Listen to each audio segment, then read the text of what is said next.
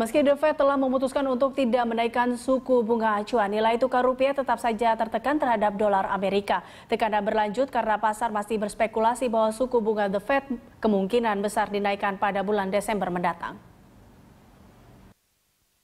Keputusan The Fed menunda kenaikan suku bunga acuan kian memperpanjang spekulasi pasar yang membuat rupiah terus tertekan hingga hampir menembus level 14.500 per dolar Amerika.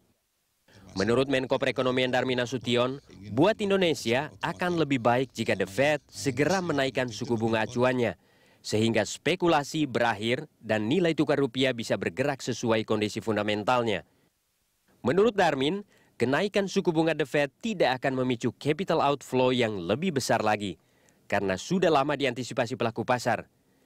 Di sisi lain, fundamental ekonomi Indonesia masih bagus dan menjanjikan bagi investor. Kalau dinaikkan, sudah pasti akan dampaknya uh, gejolaknya akan langsung kelihatan.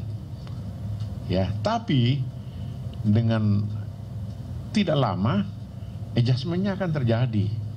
Bagaimanapun, bagaimanapun, pasar sebenarnya tidak tahu persis seperti sebesar apa ini dampaknya. Jadi banyak pihak yang pokoknya pasang dulu gitu. Nanti setelah 2-3 hari dia mulai lihat sana sini kan, ada adjustment.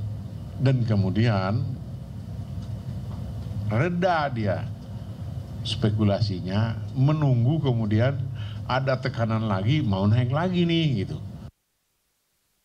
Jika dihitung sejak awal tahun, nilai tukar rupiah sudah terpuruk 15,85 persen ke posisi 14.452 per dolar Amerika pada 17 September 2015. Menurut Menko Perekonomian, rupiah pada posisi tersebut sudah sangat jauh dari fundamentalnya akibat spekulasi pasar yang berkepanjangan. Darmin mengaku tidak ada jalan lain untuk meredam tekanan itu selain dengan meningkatkan ekspor ke negara tujuan baru seperti Timur Tengah dan Afrika Selatan.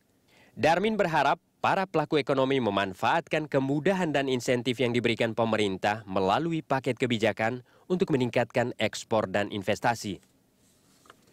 Tim Liputan, Berita 1, Jakarta.